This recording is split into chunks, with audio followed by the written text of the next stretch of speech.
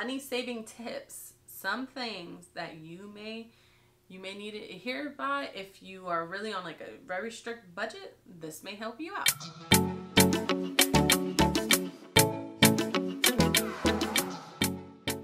What's up guys, it's your girl Nicole Mercedes and welcome back to my channel. The sunset looks really nice, but clearly I am running out of daylight. So hopefully we can do this quickly. I went to Costa Rica last September and as you saw the Costa Rica travel series, I had a blast. It was amazing. And just in case any of you guys want to go, here are some tips and tips, tricks, and information that you should know before you even get there, while you're there, and how to plan your trip. So let's dive in right now. The first thing you might need to know or want to know is the time difference. I live on the East Coast, so Costa Rica is two hours behind Eastern Standard Time. The thing that's crucial you need to know is how are you even getting into the country and are there any parameters around you actually having to go in. On January 13th of 2023, there was an announcement that was made. There are no special COVID requirements for anyone to get into Costa Rica except for if you are traveling from China, Hong Kong, Macau, M-A-C-A-O, I think that's how you say it, and Taiwan. And that had to be from, if you're traveling there within the last 14 days of when you're going to get into Costa Rica. Also must provide a PCR, an RT, or an antigen test with negative result by a lab test less than 72 hours before entering. And also anyone over 12 must have documents with up-to-date COVID vaccination. You must have, must have a round trip ticket in and out or at least a get an out ticket regardless if you are returning back home or you're traveling somewhere else. Before you get into Costa Rica, they want to know if you have a ticket getting the hell out their country. They will ask you at customs, when are you leaving? And I thought it was a joke until I got to customs. They said, oh honey, where are you staying? When are you leaving? Oh, also pro tip, make sure that you take a photo of your passport or at least like scan it and document have, besides the physical passport, have a physical copy or at least one on your phone just in case something happens, you lose it, it gets stolen and somehow you can get to an embassy and make sure you can go home.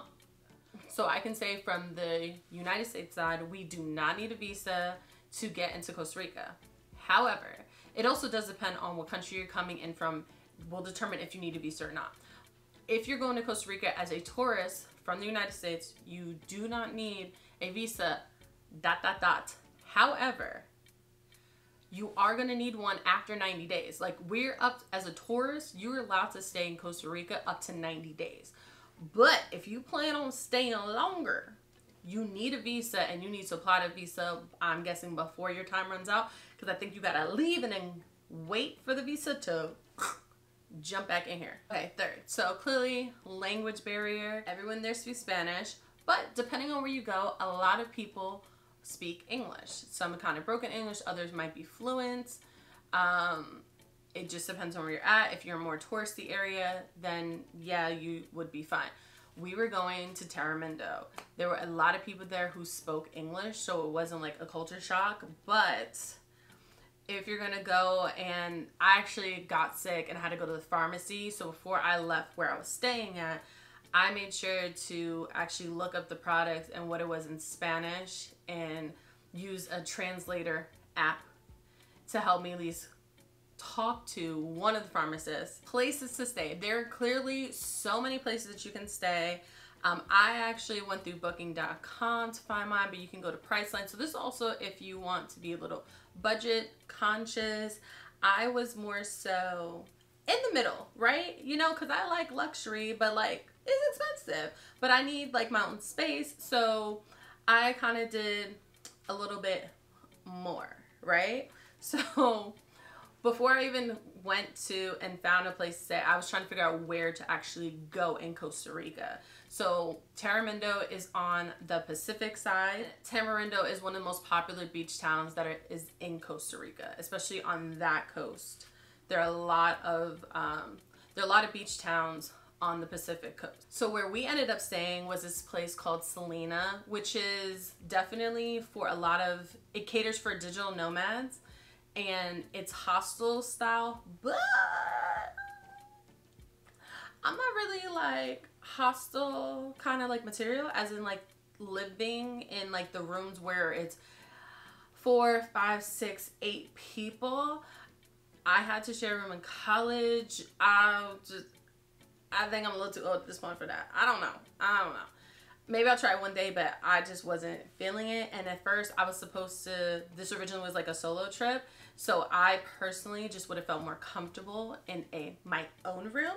So luckily, the Selina um, properties all have multiple options. So I stayed in my own room, and then eventually, then Raven ended up joining the um, me on the trip. Hey Ray, we had suites, so you had the um, you had a, your own separate room, separate shower situation because the hostels, the I saw rooms I believe were probably like three, four, six, eight, depending on like there were different size buildings.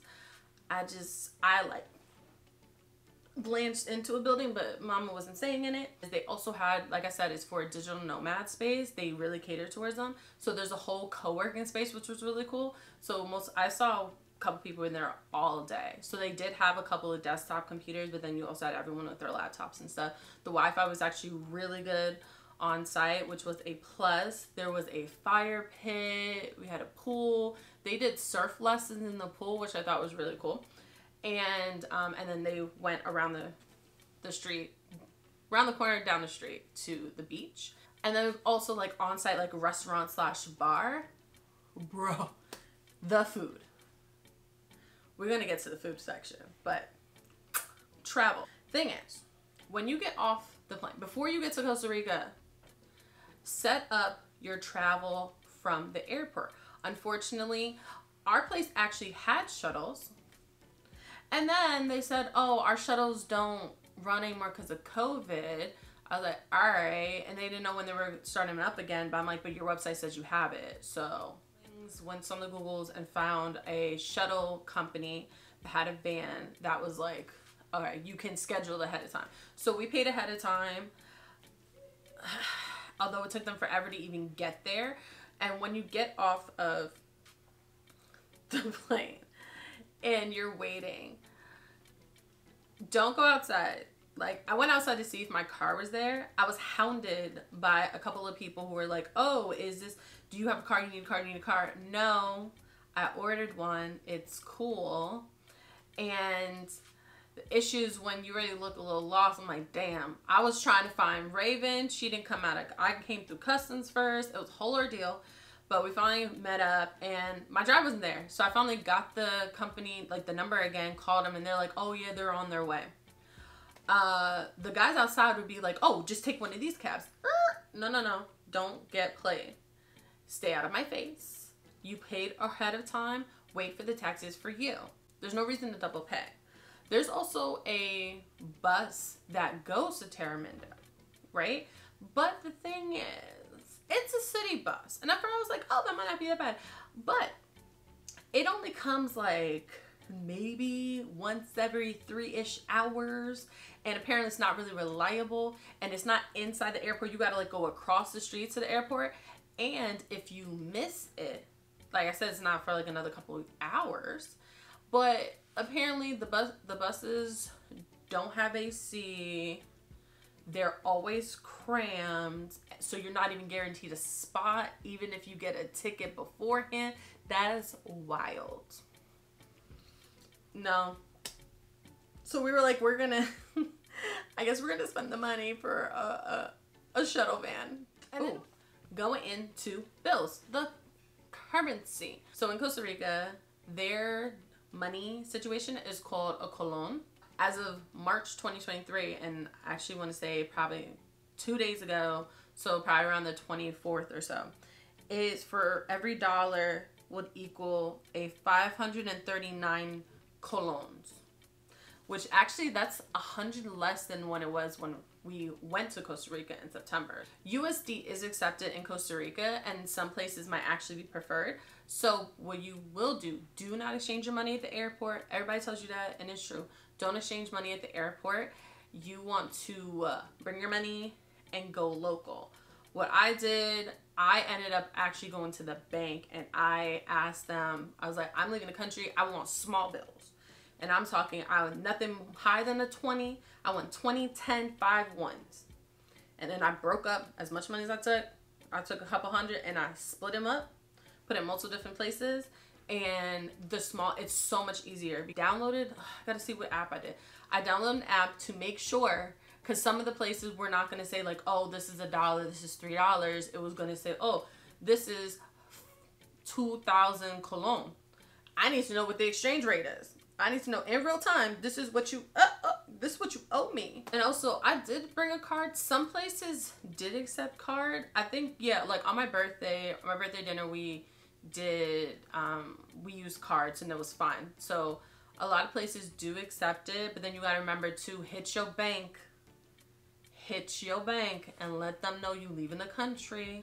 All of a sudden, I'm really starting to lose the light, babes. Hold on. Oh yeah, so just make sure transfer all your money before you leave. Take out as much cash as you need before you leave. I did not go to an ATM. They did have, I think they had a few ATMs, but again, mm, I'm really antsy about using ATMs out of the country. So if you don't need to do it, don't do it. Okay, next one. I think this is group like number seven. Excursions. Before you get on that plane and leave where you live. You want to figure out what are you going to do when you're in Costa Rica. There are so many options, especially if you're an outdoorsy person.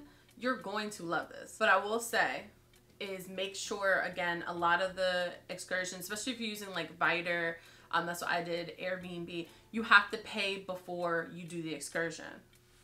And most excursions don't include gratuity in them, so just be mindful when you're like actually, um, just be mindful when you're buying the excursion that you need to bring some money so that you could tip your tour guide. So there's different variety of things that you can do. They definitely have rafting. I know they had um, rappelling and climbing down waterfalls, hiking, which we went on because we did a hike through the Amazon.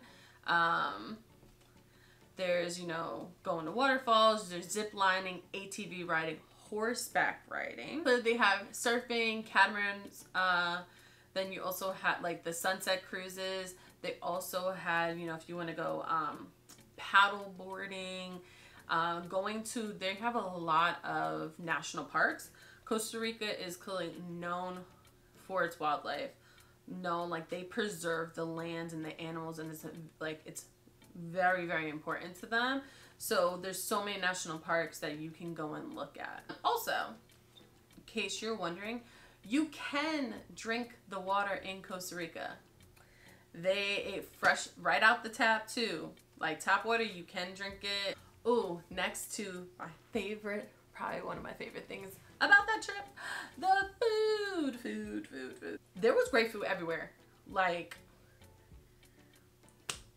it was not giving starvation. We're full to the max. Everything was good. So even starting, starting from where we stayed at Selina, them chefs, even my bre- breakfast, right? Let's go even from breakfast.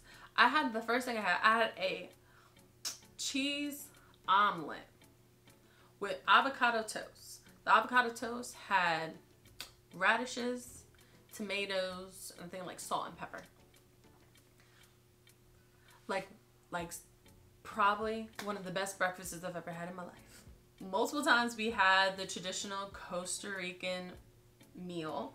The biggest meal of the day is uh, lunch there. Traditional Costa Rican meal has rice and black beans uh, there's always a protein, so you already had meat, beef, you know, there's beef, chicken, fish, etc. Uh, plantains. Then also had salad and or fruit. And Tamarindo had there's so many different varieties of like restaurants that were within walking distance. A couple minutes away, there was another food court that was a little bit more, it was definitely sit down, a little more upscale, super cute, kind of beach club vibes.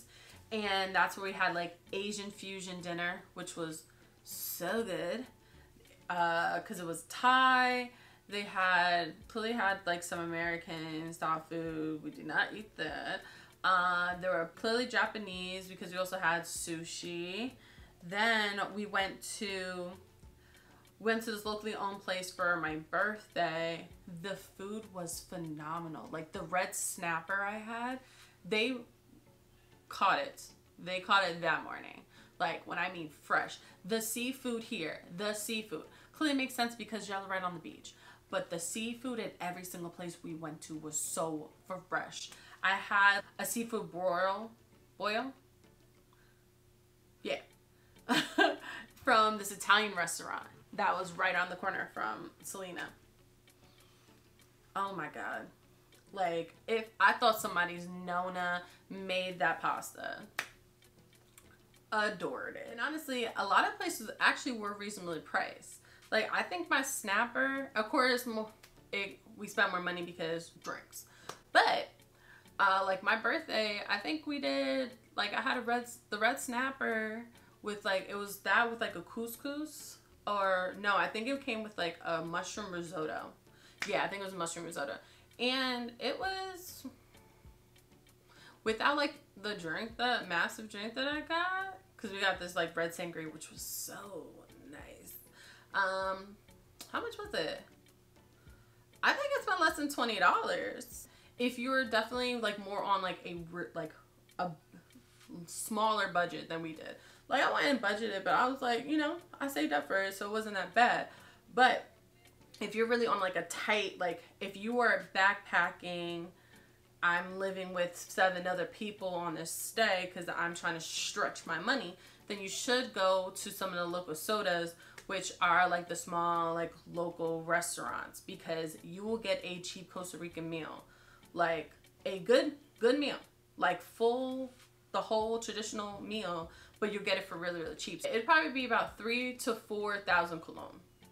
Bad. So we're looking at probably about four dollars or so. Then you can also have like we had empanadas from this little spot that's like a little uh a little shack that's like right near the beach, and I think it was only two thousand colón.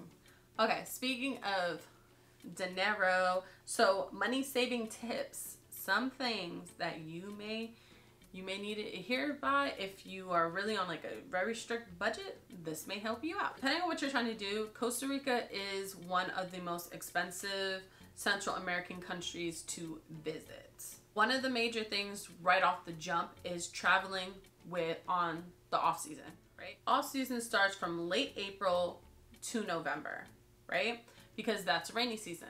That is when we went. That's when things are the cheapest um, because yeah, half the time it be raining, right? So luckily, it doesn't rain all the time, right? It rained every other day when we were there, but the couple days we have when there's no rain, oh my god, it was what 80, 85 degrees, perfect weather.